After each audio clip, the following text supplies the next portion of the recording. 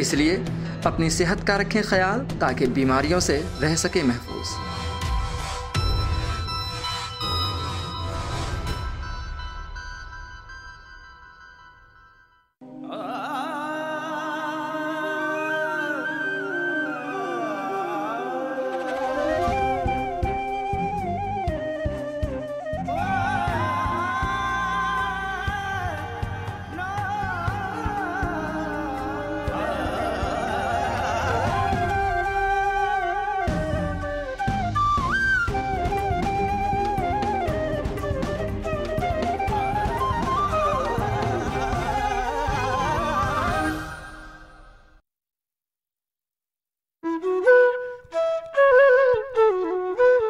बात होगी फ़ैशन की। सारा दिन पहन सकते हैं कंफर्टेबली पहन सकते हैं ट्रेंडी है। बात होगी स्टाइल की। सीखेंगे कुछ घरेलू नुस्खे। बेसन एलोवेरा और चिरौंजी फ्लैक्सीड ये अगर आप पीस के रख लें इतना तो एक हफ़्ते आराम से चलता। लुत्फ उठाएँगे लजीज पकवानों के। स्टफिंग रेडी करेंगे फिर हम समोसा पेस्ट्रीज बनाएँगे फिर अगर आप उनको यूज़ करना चाहते हैं, हम फ्राई करेंगे। कुछ लम्हे फुर्सत के गुजारिए हमारे साथ हर मंगल रात साढ़े नौ बजे और बुध दोपहर डेढ़ बजे, सिर्फ़ डीडी उर्दू पर।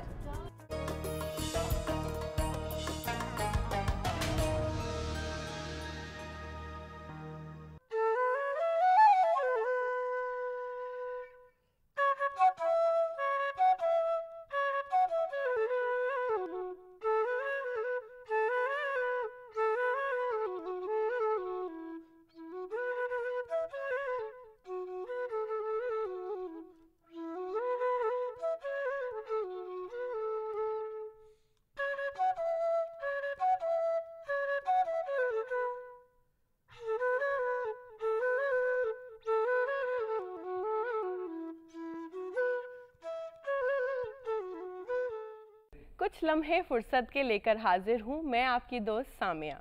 जैसा कि आप जानते हैं, हमारी इस प्रोग्राम के ज़रिए ये कोशिश रहती है कि हम अपने नाजरीन को, ख़ास तौर पर ख़वातीन को नई नई जानकारियों से रूबरू कराएँ। आज के दौर में ख़वातीन इतनी बिज़ी रहती हैं कि अपने लिए वक्त ही नहीं निकाल पाती, और अगर वो वर्किंग हो तो बस आप पूछिए ही मत। इन्हीं सब कामों के चलते सबसे बड़ी ज़िम्मेदारी होती है बच्चों की तरबियत और परवरिश की। एक वक्त था जब बच्चे नानी दादी के साथ रहते थे और नई नई कहानियाँ सुनकर अच्छी अच्छी बातें सीख लेते थे। पर आज के दौर में ये चीज़ मुमकिन नहीं है। आज भी कॉमिक्स और कार्टून्स का क्रेज़ बच्चों में अभी भी बरकरार है। तो इन्हीं सब चीज़ों से जुड़ी एक शख्सियत से मैं आपकी मुलाकात कराती हूँ। आदाब हरमिंदर जी, हम आपका खैर मकदम करते हैं। शुक्रिया शुक्रिया। सबसे पहले मैं ये जानना चाहूँगी कि आपने कार्टून्स की इलस्ट्रेशन की फ़ील्ड में अपनी शुरुआत कैसे करी? ये बचपन का एक दौर था सामिया। एक बारह तेरह साल का बच्चा जो उस माहौल में सेवेंटी अगर एट की बात करें। जी। पार्क में जो पटरी या फुटपाथ होता है कोयले के टुकड़े लेके कुछ आड़ी तिरछी रेखाएँ खींचने लग गया। वो आड़ी तिरछी रेखाएँ कब उसने कार्टून्स की शक्ल ले ली कब उसने जानवरों की शक्ल ले ली या कब उसने एक प्यारे से मोटू पतलू की शक्ल ले ली। तो जब आप कोई भी एक चीज़ को बचपन से एक लगन से करना शुरू करती हैं ना तो वो एक अल्लाह ताला वो मौला वो परवरदिगार वो ईश्वर उसके ऊपर अपनी फोकस दृष्टि भी डालता है। क्योंकि वो जानता है कि उसकी क्रिएशन की हुई वो हस्ती जो है एक ख़ास किसी मुकाम की तरफ़ बढ़ रही है। जब आप उसकी बरकत या उसकी सोच के दायरे में आते हैं तो आपके अंदर वो एक्स फैक्टर जागता है। जी। तो वो ड्राइंग जो बचपन में धीरे धीरे धीरे धीरे धीरे मुझे पॉकेट कार्टून्स तक ले गई। जी। पॉकेट कार्टून्स में 78 80 के दशक की बात बताऊँ तो मैं आठवीं या नौवीं में पढ़ता था तो मुझे पहली बार mister P K Bajaj mister A P Bajaj थे लोटपोट के मालिक। जी। उन्होंने मुझे कहा कि आप कार्टून बनाती हैं नहीं आप मोटू पतलू क्यों नहीं शुरू करते हमारे लिए? उनका ऑलरेडी मोटू पतलू चल रहा था उस समय। पर वो कह रहे थे कि जो नई जनरेशन आई है क्योंकि मैं बच्चा था जी। मैं उन्हीं लोगों में रहता था जिन लोगों के लिए वो बुक्स बनती थी वो कॉमिक तो आप मेरी समझ में ज़्यादा था कि मुझे पसंद क्या है। तो उस समय वो पहला मोटू पतलू मुझे आज भी याद है उसकी कहानी का नाम था रोको मत जाने दो। जी। रोको मत जाने दो रोको मत जाने, जाने दो। दो। एक लाइन के दो मीन थे जी। तो वो बना और उसके बाद तब से लेके आज तक करीब 45 साल होने को हैं नॉन स्टॉप हर हफ़्ते आपके इस खादिम ने वो मोटू पतलू बनाई है जी। और छपी है तो ये अपने आप में एक वर्ल्ड रिकॉर्ड उस ऊपर वाले ने मेरे झोली में डाला है तो ये बड़ा खूब ना केवल मोटू पतलू शेख चिल्ली बना फिर उसके लिए जो अलग अलग चैनल्स पे गया संपत चंपत बने फिर उसके बाद नटखट नीटू बना मिनी गैंग बना बहुत सारे और करेक्टर्स थे जो मामा जी जो कॉमिक्स जब शुरू हो गए मार्केट के अंदर। मामा जी मेरा बहुत फ़ेमस करेक्टर था। भूतनाथ के लिए काम किया अमर अकबर के लिए काम किया जूडो क्वीन राधा। ये वुमेंस का अगर आवाज़ शो कर रहे हैं ख्वातीन का तो मेरा उस ज़माने में महिला उत्थान का ये सबसे बेस्ट इकलौता कॉमिक्स आता था जिसकी हीरोइन लड़की थी। अच्छा। नहीं तो आमतौर पे फ़ेमस वो एक लड़के को ही ज़्यादा रखा जाता था। तो जूडो क्वीन राधा ने तहलका वो मचाया कि लोग अपने बच्चों को जूडो लड़कियों को जूडो सिखाना शुरू सबको इंस्पायर करा आपने लड़कियों को तो कि वो आगे चीज़ें कुदरत इन क्या होता है एक वो एक कहानी रचती है। जी। कुदरत की एक अपनी स्क्रिप्ट होती है। कुदरत एक अपना पूरा मयार खड़ा करती है आपके आसपास। खुश नसीब हम हैं जो उस मयार और उस दायरे के अंदर आ जाते हैं उसकी रोशनी के अंदर। वो सबको देती है। लेकिन हमें लेना ही कहाँ आता है दोस्त? हमें मांगना ही नहीं आता है। जब तक मांगना नहीं सीखेंगे तो पाएँगे नहीं। सोच को बदलना है। पाना है अगर मंजिल को तो अपनी सोच को बदलो। कश्तियाँ बदलने से कभी साहिल नहीं मिला बिल्कुल। बहुत खूब बहुत तो वो सोच बदली वो समझ बदली। आप एक अच्छे मुकाम की तरफ़ बढ़े तो फिर क्या दुनिया की कौन सी शय है जो आपके साथ नहीं चलती वो कौन सा द्वार है जो आपको सजदा नहीं करता वो कौन सी मतलब चीज़ है या वजूद है जो आपके अंदर वो एक एकदम लश्क लश्क नहीं करता? बिल्कुल। आपका ख़ास तौर पर बच्चों के लिए जो ये आपकी अच्छी अच्छी बातें हैं उनका सिखाने का जज्बा आपका यहाँ से आता है आपके जी, लिए जी, जी। आपकी ज़िंदगी में। तो आपने जो ये स्केचिंग कार्टून इलस्ट्रेशन आपने जो शुरू करा इसके लिए आपने कुछ स्पेशल ट्रेनिंग ली थी या ये गॉड गिफ्टेड है? सब उसका है दोस्त। उस मुर्शिद का है। मैंने कहीं से नहीं सीखा। अब सोचिए मैं नाइन्थ क्लास में उस समय तो ये क्लास कोच हुआ भी नहीं करता भी नहीं था। कंप्यूटर ही नहीं होते थे। जी। बस होता चला गया। है क्या होता है कि ज़िंदगी के अंदर ना बहुत सारी चीज़ें जी। अपने आप आती हैं। आपका जो शौक़ होता है जो आपका पैशन होता है वो जब प्रोफेशन बन जाए जी। तो इससे खूबसूरत में तो चार चाँद लग जाते चार चाँद वो मेरे ऊपर उसकी रहमत वो कहीं ना कहीं झलकता है फिर आपके काम वो रहमत रही उसकी जी बिल्कुल। क्योंकि जी जी। जी आपका जो ये जो ट्रेनिंग है आपकी आज के दौर में थोड़ा सा अपडेट भी आ गई है टेक्नोलॉजी आ गई है बहुत सारे सॉफ्टवेयर्स आ गए हैं उन सबको कैसे आपने अपनी ज़िंदगी में अपनाया? नहीं मैं सीखता हूँ। मैं आज मैंने सब सीखता मतलब करते करते काम को सीखता हूँ। और मेरा एक बड़ी मशहूर लाइन है मैं हमेशा बोलता हूँ अपनी कि जो काम मुझे आता है वो मैं करता हूँ। जो काम मुझे नहीं आता है वो मैं डेफिनेटली करता हूँ।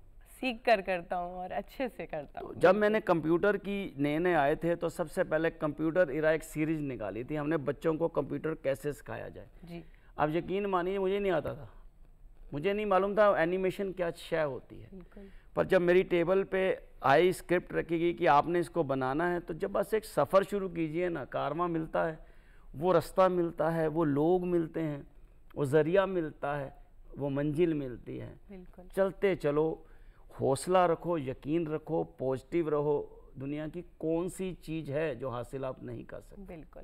मैं ये जानना चाहूँगी कि वैसे तो ये थोड़ी सा नाइंसाफ़ी होगी आपके साथ बट आपके लिए सबसे स्पेशल काम आपका कौन सा रहा है? आपने इतने सारे कार्टून्स बनाए हैं और इतने सारे इलस्ट्रेशंस करी हैं। कोई ऐसा स्पेशल काम, काम या लम्हा? लम्हा या काम जो भी आप काम इतने ज़्यादा हैं दोस्त कि किसको अच्छा कहें किसको बुरा कहें हमारे लिए सब अच्छे हैं। जी। क्योंकि हमने वो सारे काम नेक नीति से चाहे आप बिज़नेस भी कर रहे हैं तो आप दस नखूनों की कमाई का जब आप खाते हैं तो बरकत रहती है। जी। लेकिन जो सबसे अच्छा था जो मेरी एक किताब थी करीब करीब बीस हज़ार किताबें मैंने इलस्ट्रेट की हैं वर्ल्ड रिकॉर्ड में आता है।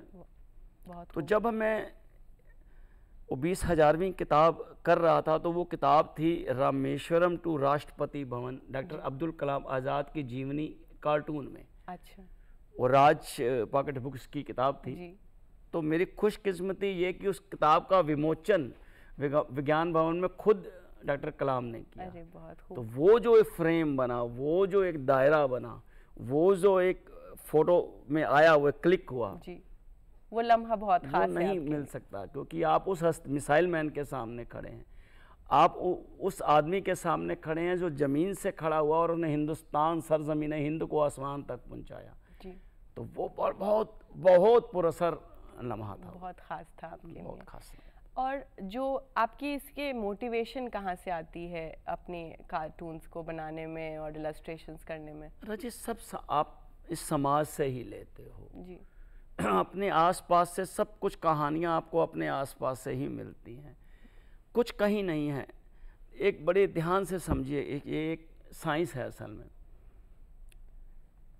हम इन आँखों से बाहर देखते हैं। जी।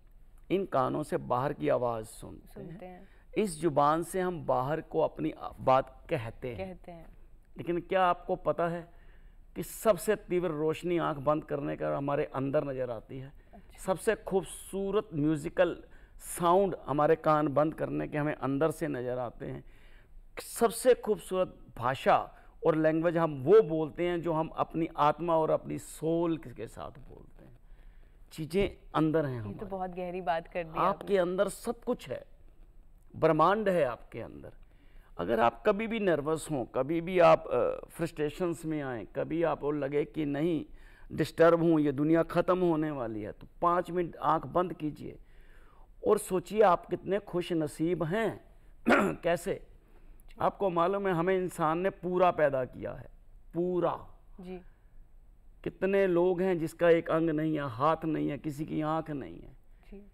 कोई चल नहीं पाता किसी को एक वक्त की रोटी नहीं मिलती किसी को कपड़े नहीं मिलते। कोई सोए सोए आप खुश नसीब हैं कि सुबह उठ जाते हैं ये सुबह आपको मिल जाती है। सबको शुक्रगुजार रहना चाहिए कई लोग सोए सोए चले गए आपको पता भी नहीं चलता। आप खुश नसीब हैं कि आपको परिवार मिला है जो हम खोते चले जा रहे हैं जो आपने शुरुआत में कहा नानी दादी हम वो चीज़ें ही खो रहे हैं बेसिक चीज़ें खो रहे हैं। जी। आपको मालूम है हमारे बैंकों में बहुत पैसे हैं लेकिन दुआ के बैंक सबके खाली है। हमने बच्चों को झुकना सिखाया नहीं बच्चे झुकते नहीं आशीर्वाद मिलता नहीं। तो आशीर्वादों का बैंक बिल्कुल खाली है।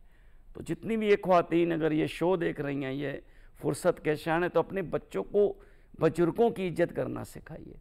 अपने बच्चों को माँ बाप की इज़्ज़त करना सिखाइए।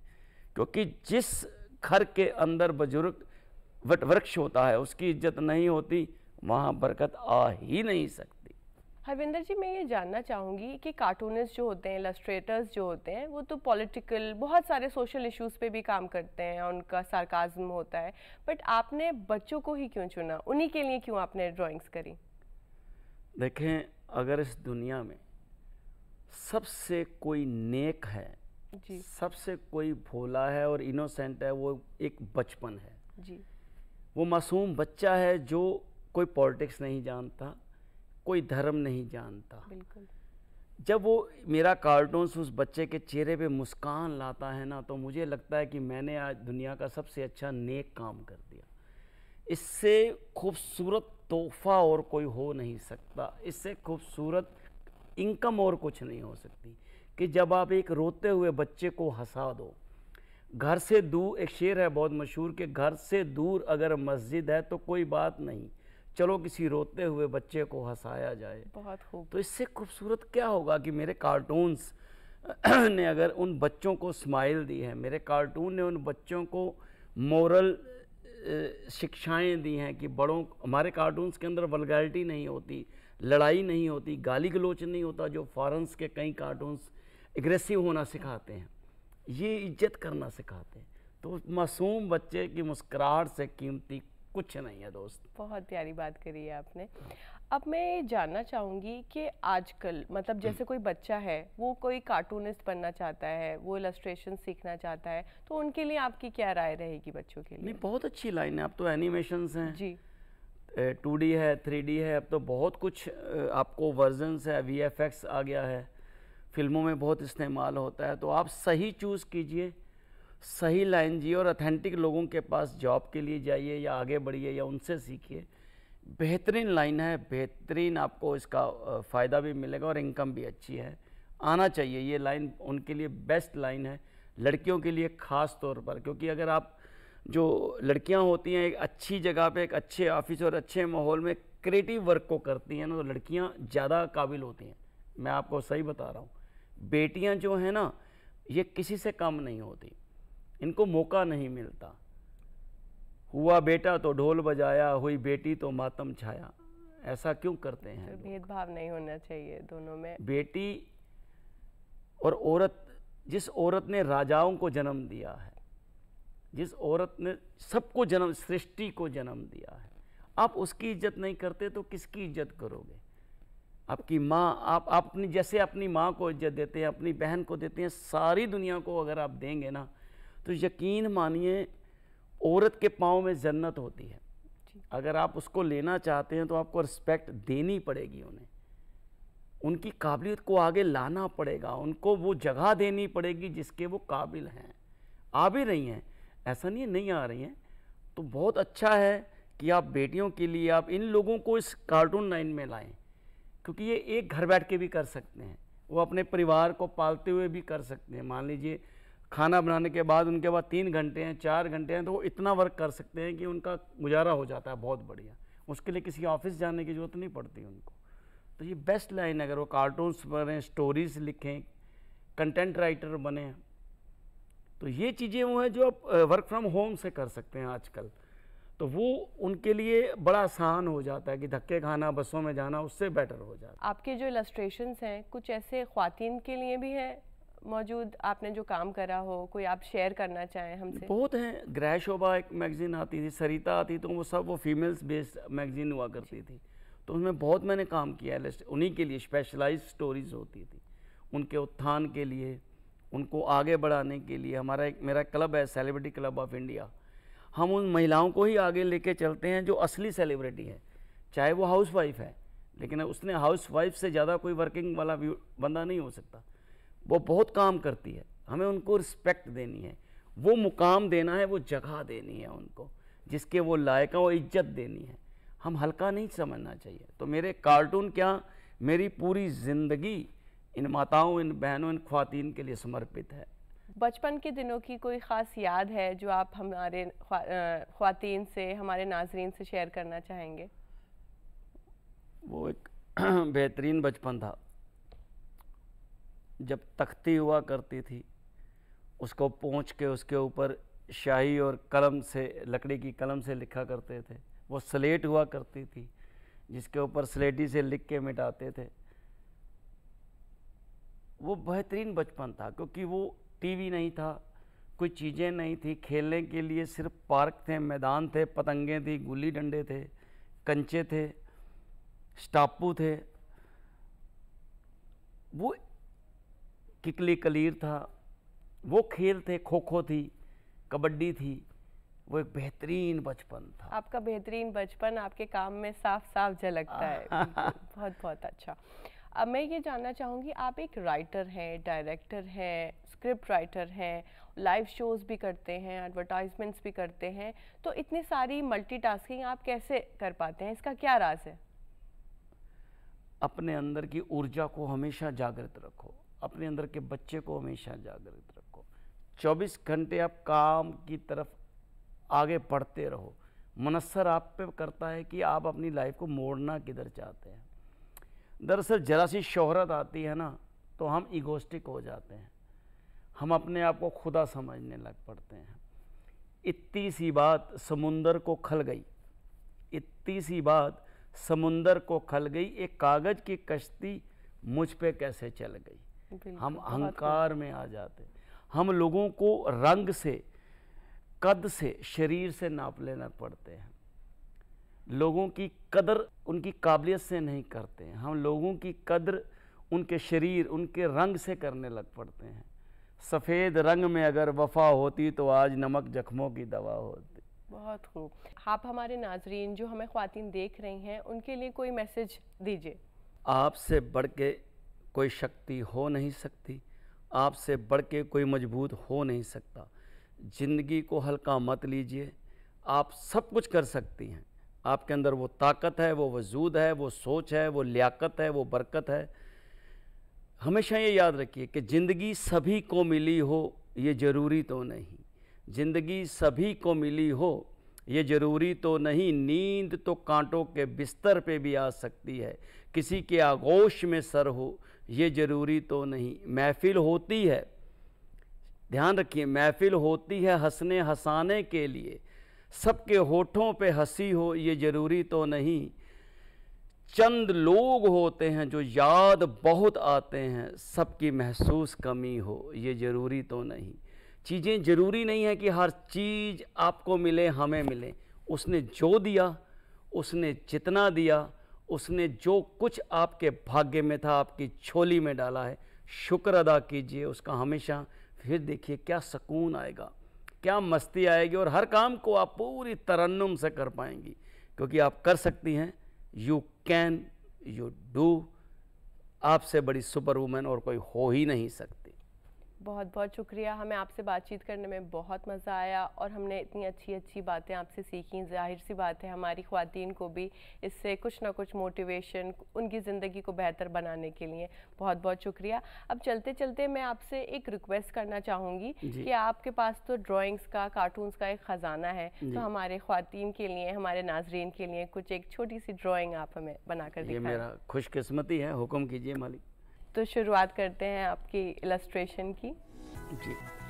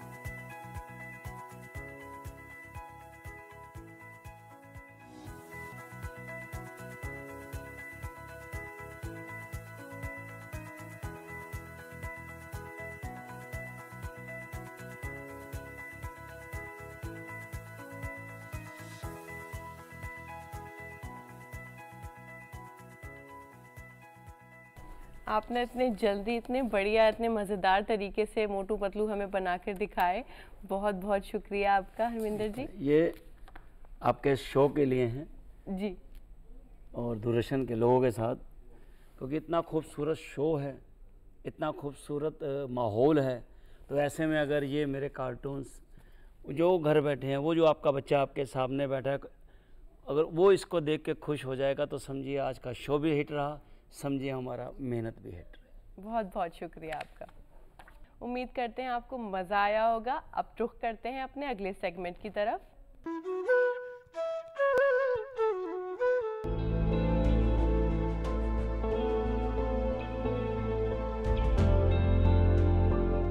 जो परों पर एक दुनिया समा लेते हैं फलक भी सर अपना झुका लेते हैं।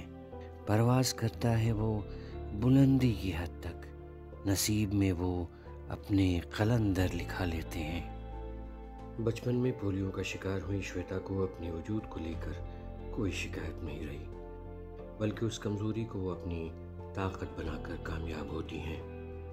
पूर्वी दिल्ली के शाहदरा की रहने वाली श्वेता अपने वालदेन की बहुत लाडली रही। श्वेता के ख्वाब भी आम लड़कियों की तरह पढ़ लिख कर अपने वालदेन का नाम रोशन करने का रहा। फिर शादी कर घर बसाने का तस्वुर किया। हौसलों से भरी श्वेता ने जब बारहवीं पास की तो उसके बाद बड़े धूमधाम से उनकी शादी कर दी गई। लेकिन उनकी शादी लंबी न चल सकी और आखिरकार तलाक हो गया। शुरू में श्वेता को पेंटिंग का शौक था, लेकिन पेंटिंग में कोई करियर न देख उन्होंने दूसरा रास्ता इख्तियार किया और खेल की तरफ़ रुजू किया। आज वो एक कामयाब इंडियन पैरा एथलीट हैं और कई मेडल्स और अवार्ड्स उनके नाम हैं। कहा जाता है ना कि हो खुद पर यकीन तो सहारा किसका, मंजिल उसे मैसर, इरादा बुलंद जिसका। आज श्वेता न सिर्फ़ कामयाब हैं, बल्कि अपने दो बेटों की परवरिश बड़े सलीके से कर रही हैं। श्वेता ने जिन मुश्किल हालात और परेशानियों को पीछे छोड़ते हुए कामयाबी की कई मंजिलें पार की, वो आज भी माशरे के लिए एक मिसाल है।